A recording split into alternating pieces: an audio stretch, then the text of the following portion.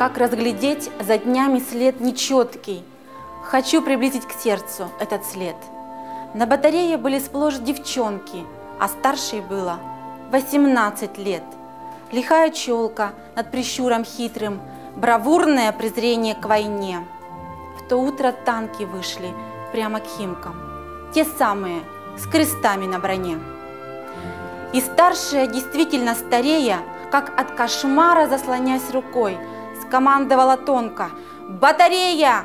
«Ой, мамочка, ой, родная, огонь!» И залп. И тут они заголосили. Девчоночки запричитали в сласть, как будто бы вся бабья боль России в девчонках этих вдруг отозвалась. Кружилось небо, снежное, рябое, был ветер обжигающе горяч. Блинный плач висел над полем боя. Он был слышнее разрывов, этот плач.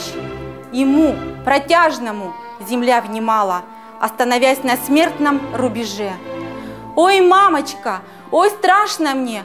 Ой, мама!» И снова «Батарея!» И уже пред ними посреди земного шара, левее безымянного бугра, горели неправдоподобно жарко четыре черных танковых костра.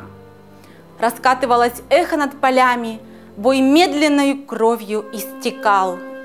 Зенитчицы кричали и стреляли, размазывая слезы по щекам, и падали, и поднимались снова, впервые защищая наяву и честь свою в буквальном смысле слова, и родину, и маму, и Москву.